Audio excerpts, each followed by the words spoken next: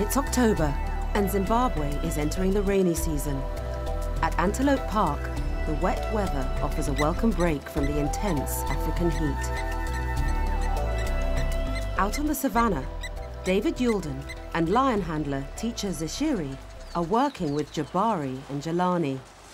The cubs are now six months old.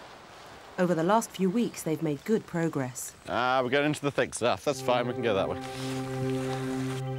Their confidence has grown, and the two brothers are happy to explore on their own.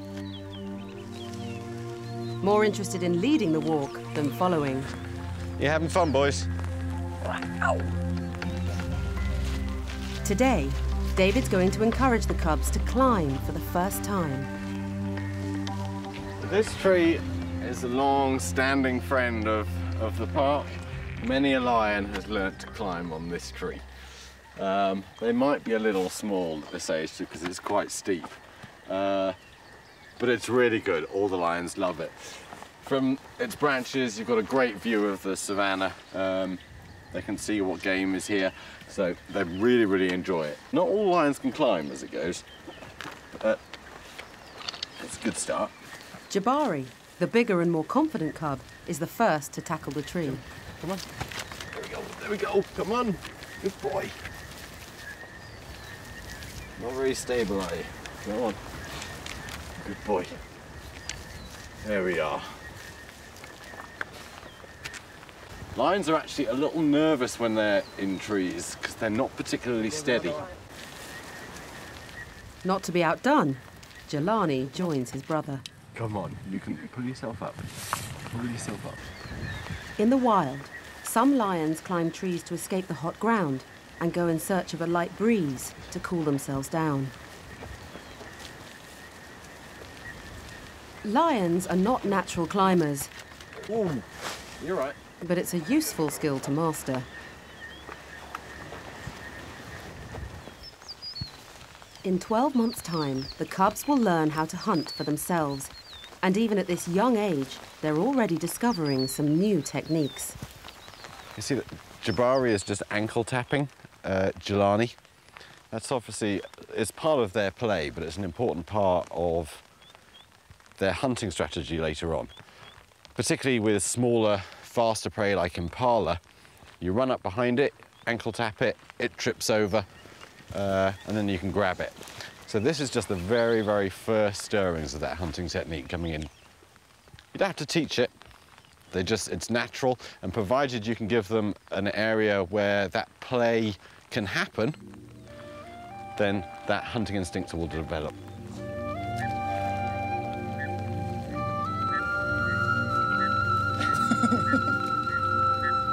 They're having a great time. Yeah, really. Adult lions must know their territory intimately. And the cubs are already investigating every sight, sound, and smell.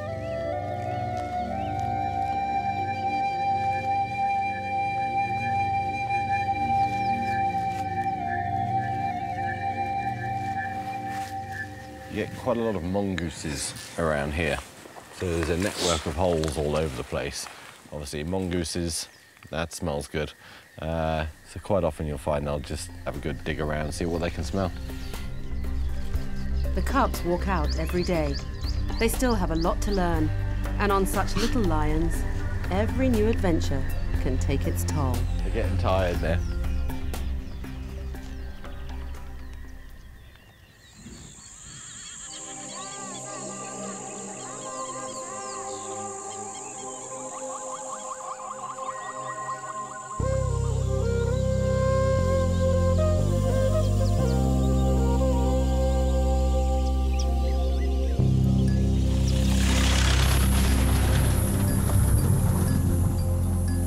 Part of the release program, more than 50 staff and volunteers work with lions of all ages.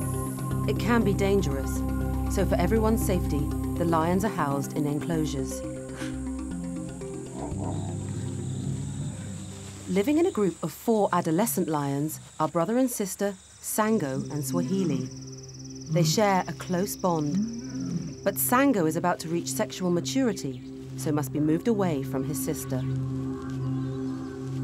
Head guide Fanwell Nsingo has worked at Antelope Park for four years, and he hand-reared the two lions. Separating the two, um, Swahili is really gonna miss uh, her brother Sango very much. And, uh, life is not gonna be easy for him in the next uh, maybe two, three days. Today, Sango will be moved into the enclosure next door to share the territory of two older males. It's a dangerous introduction, which will be led by David. Morning. How you doing? Out in a wild situation, once Sango is kicked out of his pride, it's quite likely that he will encounter males who have been kicked out of a different pride and they'll form a coalition. Not necessarily the easiest introduction in lion society. Uh, males tend not to be so accepting of each other. To avoid exposing the lions to high levels of stress, David and his team must work quickly. Okay, first step is just to put the three girls into their management enclosure and leave Sango in his main one. Okay, there's one. All right. Come on. Come on. Right, one to go. Come, Swahili. Swahili is last to walk through, leaving Sango on his own. Good boy.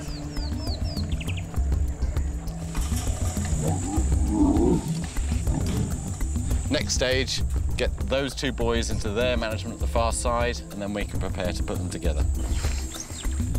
Echo and Etosha are brothers. They are six months older than Sango. They're bigger and stronger. Hello. To help the introduction go smoothly, the brothers have been living in the enclosure next door to Sango. The males can see each other through the fence, but no one knows how they'll react when they come face to face. No.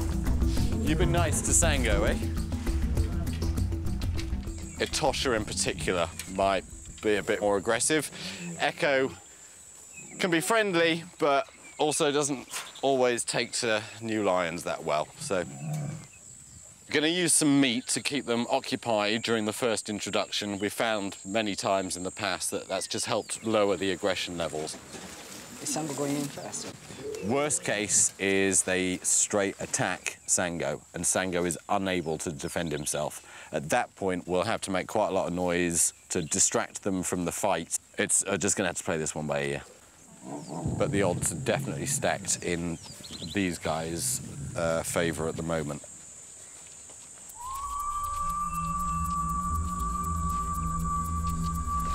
Okay, everyone happy to do this? Cool, fingers crossed everyone. Male lions are fiercely territorial. In the wild, they can fight to the death. Sango must stand his ground. Escape on Garni now! Come on, boys.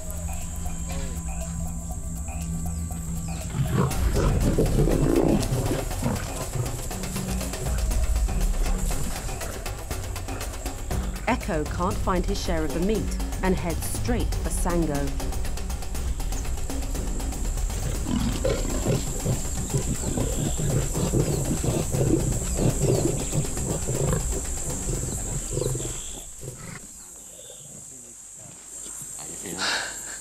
Your heart beats. Yeah, it's heart beats, yeah. When Sango was challenged, he protected his meat by turning his back on Echo and growling a warning. He stood his ground, and Echo quickly lost interest. For David and Fanwell, it's a huge relief. Today has gone really as well as I could possibly have hoped for. They do seem calm. They, there's no real aggression towards them. One thing here is once they've finished eating and they've got nothing else to do but realise there's a new lion in town, um, there might be a bit of aggression there. And certainly over the next two to three days, we're going to keep a very close eye. Um, from previous experience, it's not necessarily the first day that they pick on each other. It can happen afterwards, but it's definitely a good start.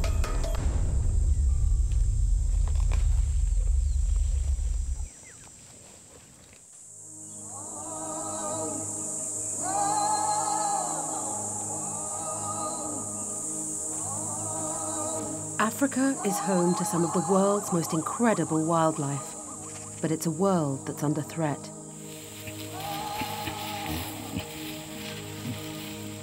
Even the most iconic predator is in danger. In the wild, numbers of lions are in decline. At Antelope Park in Zimbabwe, the African Lion Rehabilitation and Release into the Wild program is trying to find a solution, using human handlers like British conservationist David Youlden to prepare captive bred lions for life in the wild. What I hope we can achieve is we can prove what we believe to be true, and that is that we can take lions and put them back into their natural environment so that they can survive there. And that's going to allow us to offer those parts of Africa that have lost their lions for various reasons an option of how to bring this incredible animal back into the place where it's supposed to be. 16 years ago, the program's founder, Andrew Connolly, lost his arm when he was injured by a male lion. But the incident only made him more respectful of this fearsome predator. I just cannot imagine Africa without lions. I mean, it's, it's like imagining London without Big Ben. Um, it just, it just, it's just not acceptable. So it's, it's, it's a major project. To me, it's, you know, I don't know how to really explain this. Like the sun not coming up. If you haven't got, if you haven't got lions in Africa, it's just, just not Africa, is it? Andrew oversees the entire release program. Today, he's been called in by David because there's another problem with Sango and Swahili. The brother and sister had to be separated because Sango is about to reach sexual maturity. The move went well, but in the days since the split, Swahili has been pining for her brother. She's refused to move from the fence line, and it's a situation that has to change. Today, Swahili and the two other females will be moved to the other side of the reserve. Andrew Connolly will oversee the walk to their permanent new enclosure. Very good. Wait, Maxim. He's hoping they all want to go for a walk. These are the three for going out for a walk this morning. These are the three, yeah. It's Swahili, the one in the middle here, that uh, we just need to get away from her brother. All the while that she is using him as a source of her confidence, she is not bonding with the females, and that's what we need for her survival in the next stage of the release program. With lions of this age, which are coming up on two years old, as much as possible, we'll stay on a vehicle uh, and they'll follow. We might have to be on the ground at, at various points just to uh, usher them along a bit, um, but it's just a lot safer for us if we're on a vehicle. Everyone ready? This is the last time Swahili will ever see her brother. Okay. Come on. Come on. Come, girls. Okay. Come on. The other females already share a close bond, and they immediately start to play. Come on. But Swahili hesitates and begins to head back to Sango. Lions are social animals with strong family ties. Leaving her brother behind is a huge step. Come on. If we spend too much time around here, she's It's just going to go back Whoop. to Senga. Swahili, come on. As the two other females head into the bush, Swahili starts to follow. Here she is. They cover ground quickly, and soon Sango is out of sight. For Swahili, the instinct to bond with her pride mates is too strong to ignore. So far, so good. Yeah, the, the worry that we had was would Swahili move away from Sango? Um, she certainly looked a bit tentative. She looked back a few times, um, but just the sheer joy of being out of the enclosure and back in the natural environment, the time with the, the girl seems to have won over, um, and that's what we want to develop. We want that bond with the girls just to increase with further opportunities for this. Playtime. They're having such a ball now.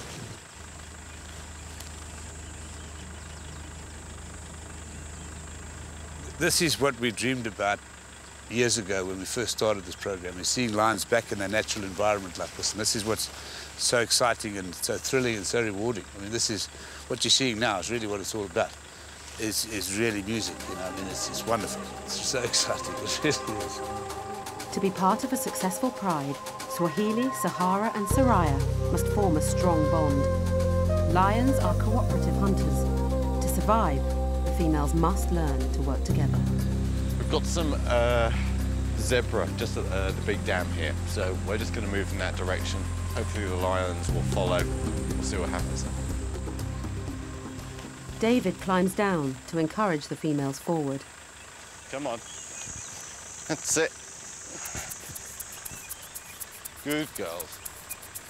Before they can make a kill, the lions must learn how to stalk their prey. Reading each other's body language, they have to work as Come one. on.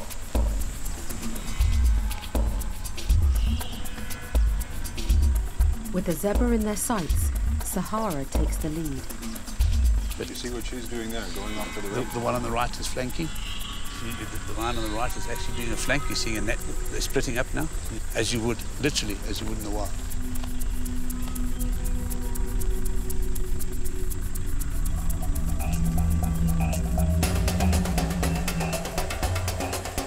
Sahara and Soraya act as a team. To make a kill, they need Swahili to work with them, but she quickly loses interest.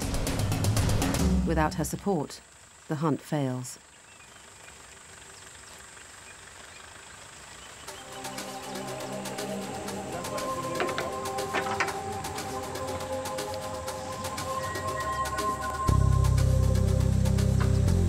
It's been a bit of a long walk for these girls uh, this morning, but it's nearing the end. Uh, just in this tree line here is their new home. Swahili must bond with the other females. If they don't learn to work together, they won't survive.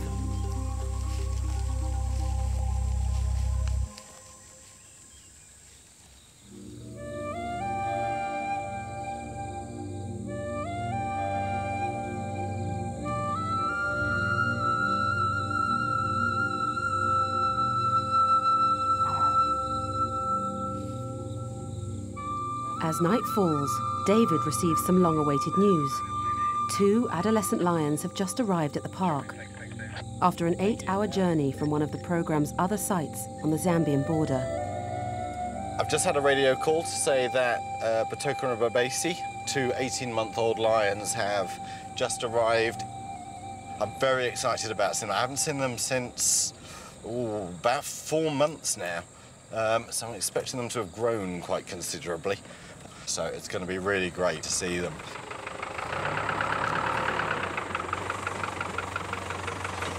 How you doing? Evening, everyone. Are you feeling strong? David wants to get the lions out of their crates as soon as possible, and he's called in some project volunteers to do the heavy lifting. they're not going to be in the best of moods, um, to say the least, and just watch where you put your hands, okay? Obviously, because if they're a bit stressed, there could be claws coming out some of the holes. Okay? Okay. Cool. The two lions are 18 months old and are ready to enter the next stage of development hunting at night. These two lions have both come to Antelope Park because here we're an enclosed reserve, which means that we can give them the freedom to roam around here at night uh, quite safely and they can practice their hunting. That isn't something that's possible at our Victoria Falls project. Okay, it down. Okay, let's just get this open. Okay, let her out. This is Bhubesi, right? David worked with Bhubesi and Batoka when they were cubs, but they haven't seen him for months and may not remember the bond they shared. Come, sweetheart. She's right at the back, staring at me. Come on. That's it. Good girl. Good girl. Hello. Just not sure yet, are you? Oh no, dark and scary, huh? Come on. That's it, my girl. Hey, sweetheart. Hey. Nice and cautious. Hello, my sweet. That's it. Good girl. Can Someone just come behind and close. And if you can close that behind her. Okay, up. Right, number two. Okay? Come on, boy. Come on. Hello, my boy. Your sister's over here. Batoka, come on. Hey, Tugs. Oh, you're even bigger. There we are. Hello, beautiful boy. Cool. Someone please close this gate. And close that gate, please. Cool. There we are. Hello, you two. You're a good-looking boy, eh? They're looking in very good shape. Obviously, a lot larger than I remember. It'll be nice and quiet here overnight, and we'll check in on them in the morning. They'll be absolutely fine. But yeah, very happy to see them again. Right, Douglas, let's go. Tomorrow, David will go in with the lions. To work with them safely, he must reaffirm his place as leader of the pride.